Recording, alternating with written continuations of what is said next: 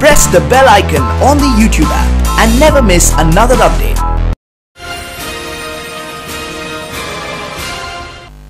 अनियंत्रित हुई बोलेरो ने स्कूल की छुट्टी के बाद घर लौट रहे बच्चों को रौन दिया, जिसमें नौ बच्चों की घटना स्थल पर ही मौत हो गई और 20 से ज़्यादा बच्चे घायल हो गए घायल बच्चों में चार की हालत गंभीर है यह घटना बिहार में मुजफ्फरनगर सीतामढ़ी हाईवे पर आज सामने आई, जहाँ एक सरकारी स्कूल के बच्चे छुट्टी के बाद घर की ओर जा रहे थे। इसी दौरान सड़क पर तेज गति से आ रही बोलेरो बच्चों को रोंदती हुई निकल गई, जिसमें नौ बच्चों की मौत हो गई और 20 से ज़्यादा घायल हो गए।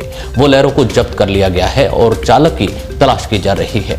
हादसे के बाद बिहार सरकार ने मृतक बच्चों के परिजनों को चार चार लाख रुपए मुआवजा देने का ऐलान किया है।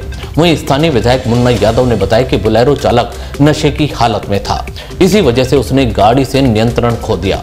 बताया जा रहा है कि धर्मपुरी विद्यालय में छुट्टी के बाद बच्चे घर लौट रहे थे। इसी दौरान तेज गति से आ रही बोलेरो इन बच्चों को कुचलती हुई चली गई। जब तक कोई कुछ समझ पाता, कई बच्चे इसकी चपेट में आ गए। घटना के बाद स्थानीय लोगों में काफ़ी आक्रोश है। लोगों ने दो जगह सड़क पर जाम किया और हंगामा मचाया।